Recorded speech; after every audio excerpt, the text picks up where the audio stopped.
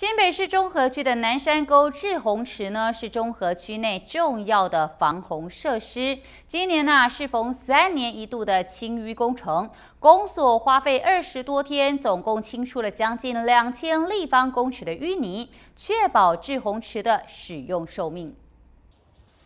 就在这北二高桥梁与中和新南路三段交汇的路面下方，就是中和防洪重要区域南山沟滞洪池。今年适逢三年一度的滞洪池清淤，公所花费两百多万，二十多天的工期，清出两千立方公尺的淤泥，大概有清出了将近一千八百多的立方米的一个淤积的一个淤泥。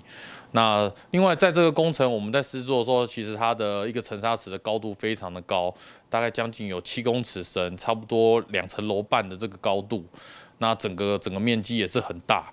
那在清的时候，其实也是要将这些淤泥清上来后，要找地方暂置，然后做一个曝晒的动作，让它不再去就是含水量低一点，不再滴水，然后再运送到我们相关的一个土资源厂来做一个回收处理。南山沟滞洪池位在烘炉地山脚下，承载山区水量。十六年前还未建设滞洪池时，周围六十公顷低洼地遇大雨必淹水。即使到现在，每逢大雨也是公所观测的指标地区。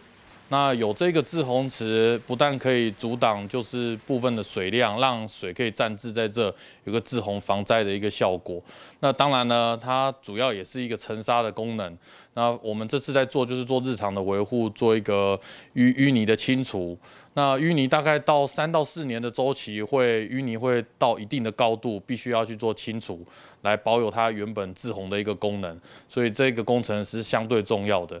至洪池完成清淤，雨水容纳维持在最大量，即使下大雨，周围居民也能安心，不用烦恼淹水情形发生。